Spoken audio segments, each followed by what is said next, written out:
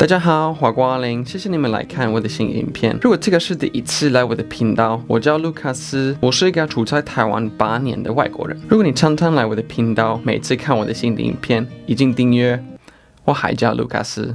我大部分的影片都是用英文介绍台湾，但是最近有很多人问我很多比较个人的问题，想知道比较多卢卡斯的事情，所以我刚刚开始拍这个讲中文的介绍我自己的影片。然后如果你下去看那个留言的地方，最近有两种问题是比较多、比较常看到的。这个有是在哪里可以买这些台北的 T 恤，然后这个是一个公司叫来好。还有如果你们已经看我的谁最泰的那个节目，那你们知道他们也会提供这个很可爱的杯子。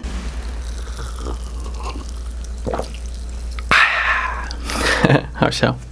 第二个问题就是，哇，你的中文很好哎，学中文应该很难吧？对，没错，真的没错，真的难死了。但是我觉得学中文的两个最大的帮助，就是一会继续学，一定每天一定需要继续学。第二个有是，你应该不怕用你的中文。这个好像是台湾人英文的问题，因为他们可能会知道很多，但是他有一点怕用他们的英文。然后外国人刚刚来台湾的时候，可能有的时候也很怕用他们刚刚学的中文。所以我在这个影片里想介绍我最丢脸用中文的情况。可能会激励你们，所以你们知道过几年以后，你们还会觉得很丢脸，但是也可以自己笑，也可以想到这些很丢脸的事情，觉得我还可以经过这些很丢脸的事情，还算是很值得。我开始说这些故事以前，你还需要知道一些事情。第一就是 DTF，如果你是台湾人，可能已经知道。DTF 在台湾有什么意思？但是对外国人来说，在国外来说，DTF 有一点点不一样的意思。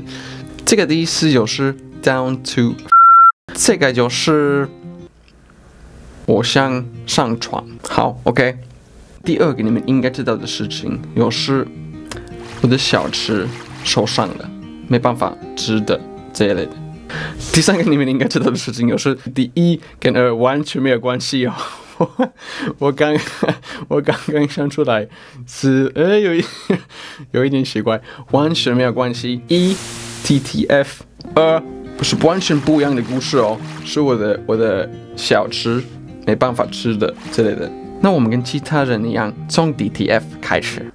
其实这个本来是一个英文的故事，但是因为我们在台湾，然后有这个 DTF 的舞会，还算是一个台湾语言的的舞会吧。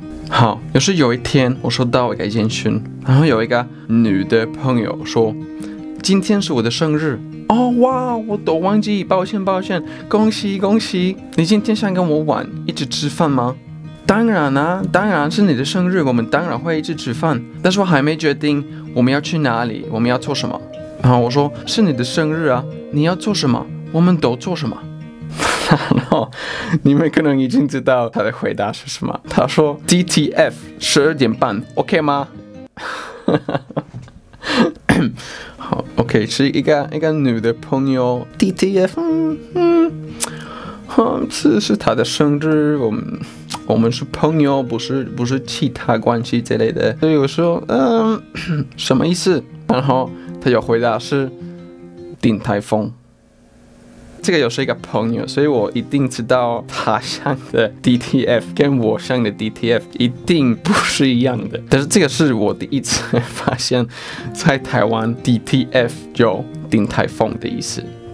下一个舞会其实已经在 Allen 的那个 IG 直播已经说了，那你们还记得我的中文都在时代国语中心学的，对不对？他们有一些学法是非常非常厉害的，是第四个月忽然开始就要用中文教我们中文，所以这个非常难。比方说被子。那个老师会用中文介绍被子是什么，然后他说：“哦，你会把饮料放进去的一个东西。”我们不知道饮料是什么，所以这个是非常非常难。然后以前我已经学过西班牙文、德文、英文，但是我们都会用瑞典话学到其他语言，这个是中文非常难。我们会用中文学中文。难死的。但是我们的老师非常好，所以他们会用很多不一样的学法教我们中文。然后第一个有是一个东西的朋友，他们会教我们关系之类的。比方说，我们知道猫，这个是猫，非常简单，动物的名词跟声音是完全一样。但是我们会学到另外一个动物，然后老师会说猫的朋友，你们应该已经知道那个动物是什么吧？对啊，狗，狗狗，所以狗就是猫的朋友。好，OK，所以这个是在我们那个教室里面会用的学法。下班以后，你出去 真的台湾，你们的那个想法都是一样啊。然后有一天我出去麦当劳，你要什么？哦，我要那个汉堡，第第三号我我忘记，内用外带哦，外带。那时候我已经知道一点点中文，我拿到汉堡，我拿到薯条，但是我要一个小包的盐，但是我不知道盐。然后哪说，因为我是学生，我觉得一定应该用中文拿到一个盐的那个小包。小姐，不好意思，呃，我我要一个一个一个袋子糖的朋友，哈，什么意思？然后对我来说是很简单诶，如果你去麦当劳，然后我不要糖，我要糖的朋友，然后我的想法是，哦，天哪！可能是那个声调不对，所以，所以我很努力注意到那个声调是糖的朋友，哈，你你你要什么小袋子？呃呃，滴滴滴滴滴滴滴滴滴，这个滴滴滴滴滴滴滴，这个中文他他他都懂。然后他说哦哇哦，我知道我知道，所以他给我一个小包，然后放在那个带走的的包里面。然后才家的时候打开，把汉堡、薯条。啊！我要把那个盐放在薯条上，然后发现胡椒。好，下一个舞会就是在西门町发现的。有一天我去那边，我要买一个定制西装，因为我们在台湾没有瑞典人大小的西装，也不是一个一套，只有一个一个外套而已。好，所以我去那边，他们都会看那个那个大小，然后多长，然后多高，然后你可以选颜色之类的。然后我快学完，他会说：“那你要几个扣子？”不知道你的脑怎么样，但是我的脑很聪明。听到一个完全不知道的字，我的脑的想法就是，嗯，最近你知道的字是什么呢？可能跟这个一样的意思。我我好，OK，这个没有那么聪明。所以你去那个顶制西装店的时候，然后你听到你要这个扣子，你的外国人的脑子有会想到。听起来裤子。店员问你要几个扣子的时候，卢卡斯回答不用，在我家已经有两个。我看到那个最后的设计，他们开始做以前，嗯，不好意思，你可以可以帮我加两个 buttons 吗？我 说哈哦，你好烦呢。所以你要扣子吗？然后那时候我发现哦，扣子这个不是裤子的意思，我自己很丢脸。然后说哦，对我要我有两个。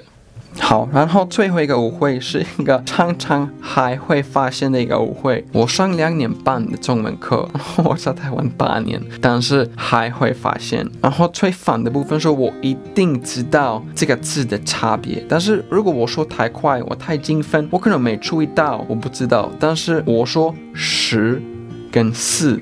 很多台湾人会听错，最夸张的有是我去八方云集的一天，然后我要买水饺，然后我知道你在那边有很多选择之类的，但是我很喜欢他们的原味口味，所以我不会用那个菜单写，我只有马上告诉他们好了。所以我说好，老板，我要原味，我要十个，然后说哦，四个吗？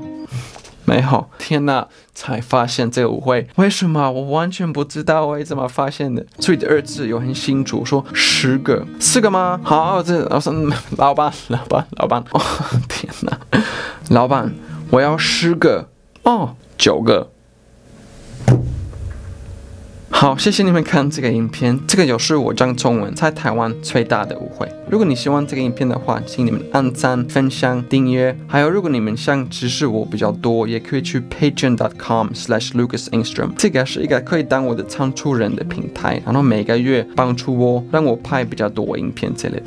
还有，如果你们有意见，下次的影片应该讨论什么，应该分享什么，你们可以去我的 FB、IG 或是在下面留言一下。好。谢谢你们来看这个影片，下次见。